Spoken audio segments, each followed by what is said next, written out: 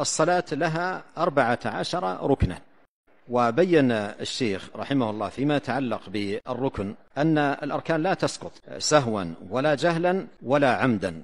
الركن يبطل به العمل ولا يسقط عن الإنسان لا بالسهو ولا بالجهل ولا بالعمد.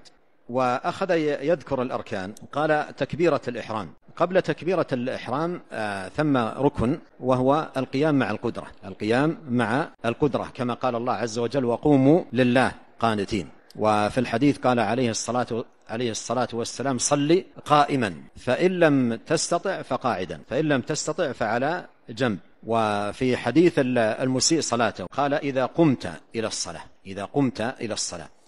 فإذا من أركان الصلاة القيام مع القدرة وهو ركن يسقط بالعجز وغير من الأركان تسقط أيضا بالعجز فالقيام مع القدرة.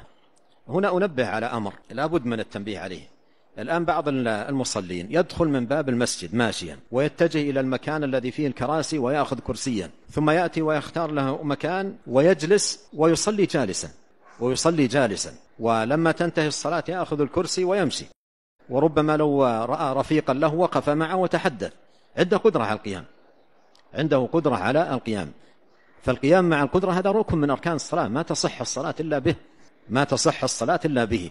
فإذا قال قال عن نفسه إنه كبير يقال له كبر قائما. الآن أنت جئت تمشي وحملت الكرسي ووقفت قليلا تتحدث ربما مع شخص ثم تجلس وتكبر وأنت جالس.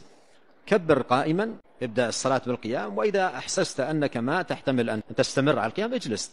لا يبدأ الإنسان صلاته بماذا؟ بالجلوس مع قدرته على على القيام. أذكر مرة في هذا المسجد أحد الأشخاص صلى الصلاة المفروضة. الصلاة المفروضة صلاها كلها جالس وصلاة الجنازة صلىها قائم. صلاة الجنازة لما نودي لصلاة الجنازة قام وصلىها قائم. وأردت أن أتحدث معه إذا به رجل أعجمي ما يعرف العربية. استعملت الإشارة ما والتفت يمينا ويسارا أريد أحد يترجم ما وجدت أحد.